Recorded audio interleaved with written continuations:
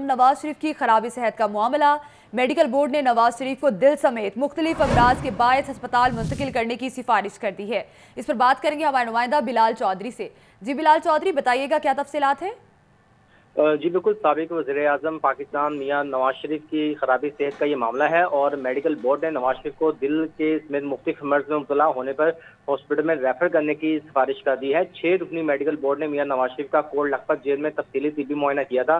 Medical board نے report محکمہ داخلہ کو بھی بھجوا دی ہے اور ذرائع کے مطابق محکمہ داخلہ پنجاب نے میاں نواز شریف کے طبی معائنے کے لیے پی I C, are are I C اور آرم فورسز انسٹیٹیوٹ کارڈیولوجی کے پروفیسر مشتمہ میڈیکل بورڈ تشکیل دیا تھا، جس نے یہ کنکلوژن نکالا کہ میاں نواز شریف کو دل کے امراض کے ساتھ ساتھ ہائی بلڈ پریشر شوگر اور گردوں کے عارضے میں مبتلا ہے، لہذا ان کو جیل کی بجائے جو ہے وہ P I C arm institute forces یا کسی اچھے ہاسپٹل میں بھجوایا جائے تاکہ ان کی جو صحت کے معاملے کے جو ایشوز ہیں، ان کو ریزالو کیا جائے اور ان کی جانب سے بھی کہا گیا ہے، چھ رکن میڈیکل بورڈ کی جانب سے کہ میاں محمد نواز شریف کی جو حالت ہے، دن بدن جو ہے یہ بھی جو ہے وہ بہتر ہونے کی بجائے جو ہے وہ کم ہو رہی ہے، تو لہٰذا ان کو کسی اچھے ہاسپٹل میں منتقل کرنے کی سفارش کی گئی ہے محکمہ داخلہ کو۔ جی۔